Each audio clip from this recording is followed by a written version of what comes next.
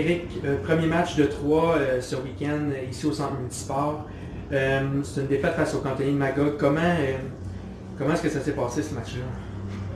Ben, pas super bien, euh, avec les résultats qu'on a eus. Mais écoute, c'est normal, là, je veux dire, euh, quand tu euh, prends autant de punitions que ça contre une équipe contre Magog, que ce soit des bons ou des mauvais cas, tu peux pas te permettre vraiment en, première période d'avoir 4 mineurs, puis par la suite une couple d'autres punitions. C'est sûr que maintenant, Magog va marquer des buts. donc, il faut être plus discipliné, il faut contrôler nos émotions. Malgré qu'on était meilleur en troisième, on a sorti plus fort, puis c'est le côté encourageant vous avez quand même disputé une bonne troisième période. Vous avez quand même terminé le match euh, positivement.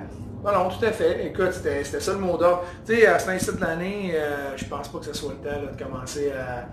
Il faut trouver des solutions. Il faut, trouver des solutions, il faut essayer des choses pour gagner des matchs. On a, euh, on a envoyé nos défenseurs en troisième période se porter à l'attaque à toutes les fois, puis oups, ça a créé quelque chose. C'est peut-être quelque chose qu'on va commencer à regarder dans les prochains matchs.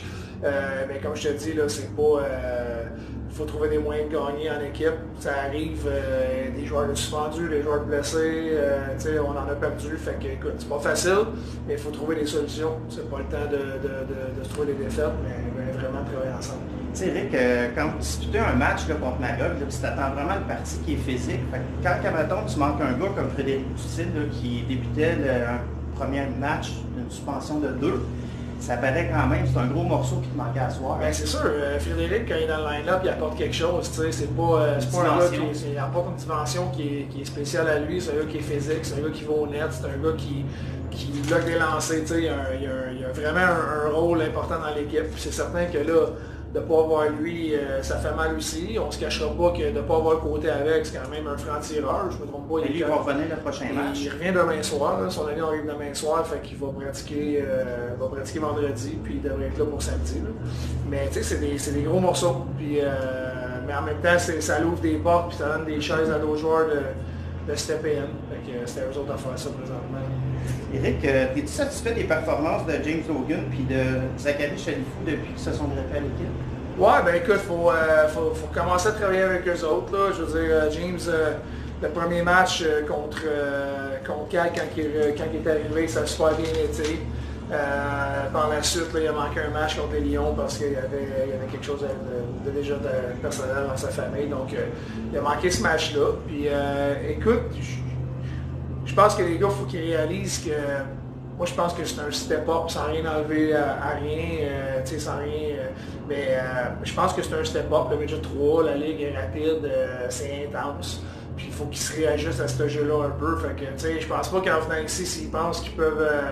je pense pas qu'en venant ici, il faut qu'ils s'attendent à ce que ça soit facile. Je pense qu'il faut qu'ils qui mettent euh, les, efforts nécessaires pour... Euh, ils sont capables de les faire, on l'a vu, on le sait, euh, mais c'est peut-être une petite adaptation pour eux autres aussi.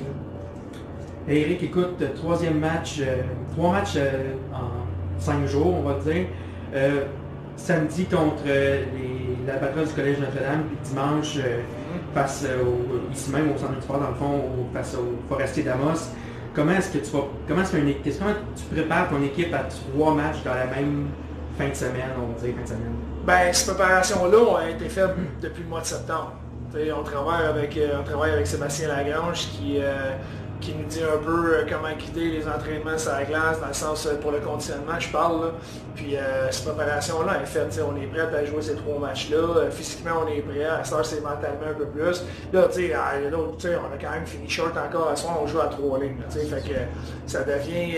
ça devient. Ça, c'est sûr que maintenant, il n'y a pas d'excuse, c'est parfait. Ils sont, ils ont 15-16 ans, ils sont capables d'en prendre. Mais il reste que quand tu joues une équipe comme Maga, qui est physique, qui est rapide à trois lignes, tu te gruges l'énergie. Fait que demain, je vais avoir le pouls un peu euh, euh, les petits bobos, les gars, comment ils se sentent. Euh, veux, pas, il y a des gars qui ont joué beaucoup aujourd'hui, beaucoup de temps de glace. Fait on va s'ajuster, on va voir demain, surutiliser, fait qu'on va voir demain comment ces gars-là se sentent, peut-être donner congé ou peut-être juste embarquer puis patiner un peu, vous les jambes. Eric, avec 3-22 à faire, ton capitaine Hugo Odette, il a retraité au vestiaire, tu sais, il était blessé, mais heureusement, il est revenu dans le match après. Hein? Ouais, ouais, ben j'ai pas eu le temps de voir c'était quoi exactement, peut-être un un mauvais, fou- un mauvais, mouvement avec sa jambe. Ou son, je, je sais pas, mais il avait l'air correct à la fin. Là, fait que je, tantôt en montant, j'ai demandé puis il m'a dit que c'était correct. Puis j'avais une dernière question à te poser. Moi, ça m'a fait un peu réagir là, dans le courant du match, puis j'en revenais tout simplement pas. En fin de deuxième période, là, Félix Potvin, il a pas là un, un time-out. Il restait à peu près comme une trentaine de secondes, tu mènes 4-0. là. C'est quoi vraiment ton, ton, ton, ton minding? C'est quoi ton arrière-pensée? Pourquoi dans le fond tu prends une décision de C'est pas brillant, ça, là. Je sais pas, ben pas brillant, je veux dire, écoute, on, en même temps, on se prépare tout pour les playoffs, on se prépare tout pour, euh, sais, il a reposé ses gars, puis il mène 4-0. quoi. c'est sûr- c'est correct, je veux dire, regarde, moi ça me regarde pas, il peut, non, il peut c'est faire, euh, il peut faire, euh, il peut gérer ça comme lui il veut, tu sais. Moi je me concentrais plus sur mon match à moi, puis euh, C'est pour euh, trouver des solutions à nous autres, tu sais, fait que... Toi, mais- t'as- t'as sûrement aimé profiter d'un petit time-out aussi pour en parler. Ouais, non, non, c'est ça, regarde, je pense pas... Ça va euh, des deux côtés, là. Sincèrement, honnêtement, là, je pense pas que Félix est un coach comme ça non plus. Là. Non. Je, pense, je pense pas que ça a été fait, euh, comment je pourrais dire, pour... euh, Ben, en tout cas, Je laisse saisir ses gars peut-être. Ben, premièrement, s'il a voulu faire ça, je pense pas que c'est dans son intérêt. Je, pense pas que c'est dans l'intérêt de. Magog de vouloir coller ça pour nous fâcher puis qu'on se mette à sais. Euh, Il gagnait 4-0. Là. Fait que je pense pas que ça a été fait de cette façon-là. là. Euh, il y avait peut-être un jeu qu'il voulait essayer, peut-être quelque chose qu'il voulait, qu'il voulait être sûr de faire. Écoute, on se prépare pour les playoffs, tout le monde. là. Il reste 10 matchs. Là. On est dans, on est dans nos affaires puis on veut trouver des solutions et tout ça. Fait que, écoute, j'en ai pas, j'en ai pas fait de cas. là. C'était- bien correct. Parfait. On se reparle après le match de dimanche. Eric. Super.